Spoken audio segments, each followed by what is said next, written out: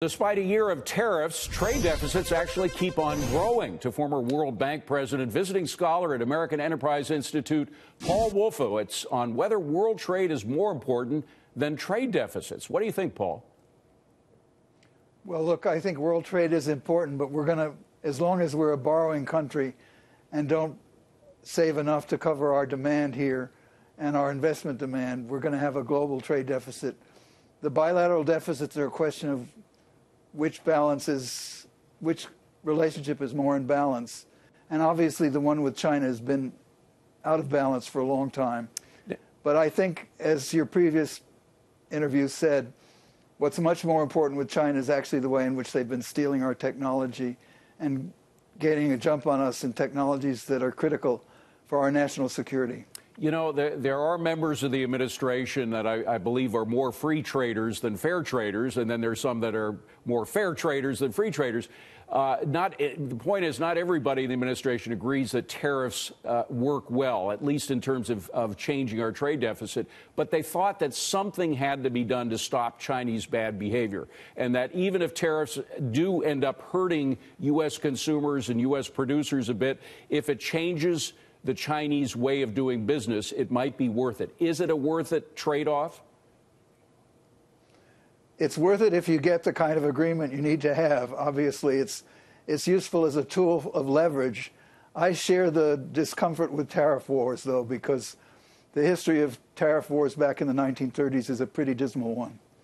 It sure is. Uh, uh, do you think we've avoided it? I mean, it does appear that that the conversations continue, that they're cordial, that that uh, delaying the the increase in the tariffs is is is a good sign. It appears that the threat, the danger that we had uh, uh as to trade wars is, is has pretty much diminished, has it not? It seems to have, but of course, as your previous speaker said, your leverage in a negotiation depends very much on what the other side views as to who needs the agreement more. And if we start signaling that we need it more, then it's going to have a less uh, favorable outcome. To what extent are organizations like the one you were president of, the World Trade Organization, what are what ex extent the World Bank, forgive me, is is going to be helpful in this regard because the president has has pretty clearly shown his disdain for these international financial institutions, whether the World Bank or the IMF or whatever. I hate to put it this way, the World Trade Organization, which you correctly said is not the one I was head of, is extremely important, but the World Bank, I think, is pretty negligible here. And the one thing I would say where it's not negligible and which I find disturbing has been a tendency to promote these Chinese investment projects in developing countries with funds borrowed, frankly, from the American taxpayer, uh, recycled into countries of great strategic and economic importance and putting them in debts that they can't repay. I don't think that's a good pattern for the World Bank. Now, that's an extraordinary uh, charge, and it's one I, I, assume based on your, your being president uh, of, of the organization. So, to what extent did the, did the World Bank actually help the Chinese? Uh, make these bets with, with underdeveloped countries, bets that uh, may, be, may, may be to the discredit of those countries back when I was president, I'm not taking credit for this, China was behaving better. We've seen a distinct change in China's behavior, both internally and externally in many ways, under the new emperor Xi Jinping. And part of that change has been this very ambitious Belt and Road project, they, took, they call it, which builds up stakes in a whole range of countries. And the ones that concern me the most at the moment are these African countries with very corrupt mining sectors where the Chinese can operate very easily because they have no Foreign Corrupt Practices Act.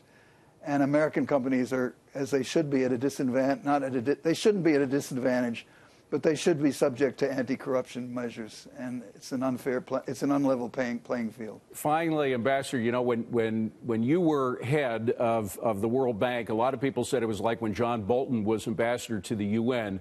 Uh, people have been highly critical of organizations that they were now in charge of or ambassador to.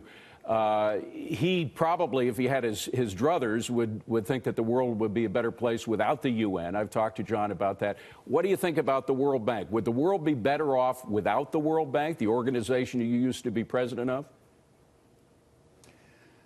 I don't think so. I think one shouldn't exaggerate its importance, but I think if it would be directed more, as I tried to do, directed at reducing this disease of corruption which holds so many countries back and deprives the poor people in those countries of what they should be the benefits they get. And if it would focus more on the poorest countries of the world instead of, as economist Paul Collier once said, World Bank staff would prefer to work in Brasilia and Beijing because those are Brazil and China are countries that are succeeding than working in the poorest countries in Africa. I think that's where the priority has to be. Paul Wolfowitz, visiting scholar at AEI, former president of the World Bank. Great to see you. Thank you for being here, Ambassador. Nice to be with you. Thanks, David.